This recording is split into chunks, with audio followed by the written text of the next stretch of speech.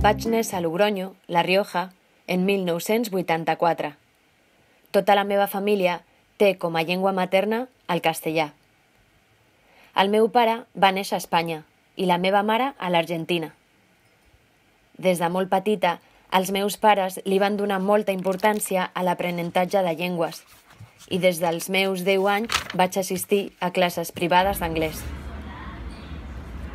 És més, els estius dels meus 13 i 14 anys els vaig passar a Irlanda i els dos estius següents als Estats Units per aprendre i perfeccionar el meu anglès. Però no només va ser l'anglès. A l'inici de la secundària, encara que jo volia fer teatre com a assignatura optativa, els meus pares em van dir que millor fes francès. De fet, gràcies a això, vaig poder fer el meu Erasmus a París, quan estava a la universitat. A més, vaig fer dos petits cursos d'italià i xinès. D'italià, quan tenia 16 anys. Ara només record ben bé els nombres, de l'1 al 10. I quan vivia a Madrid, als 23 anys, vaig aprendre una mica de xinès. Ara només sé dir gràcies i hola.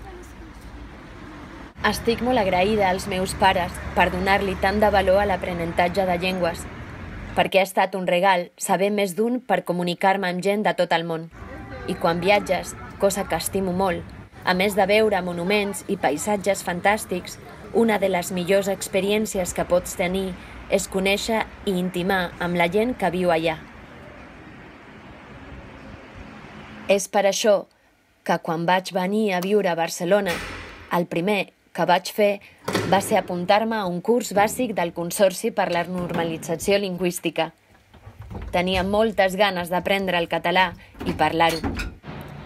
Encara que pugui sonar a peloteo, m'encanta el català i m'encanta, sobretot, la il·lusió que els fa escoltar els catalans que una noia de Logroño estima la seva llengua i vol parlar-la cada dia millor.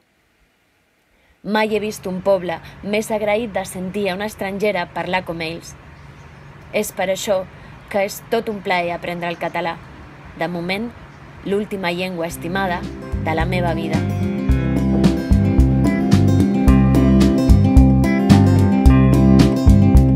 Llavors